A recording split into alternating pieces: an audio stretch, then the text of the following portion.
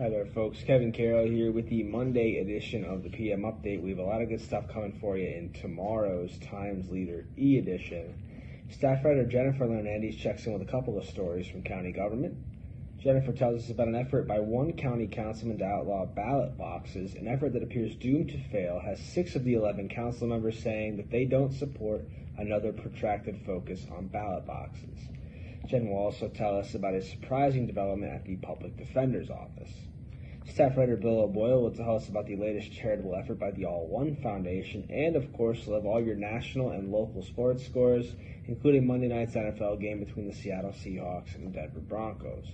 All this and more only in Tuesday's Times Leader E edition. And remember, folks, if you're not already a Times Leader subscriber, all you have to do is call 829-5000 or head on over to timesleader.com slash subscribe. That's all for now, folks. Thanks for watching. Enjoy the rest of your day.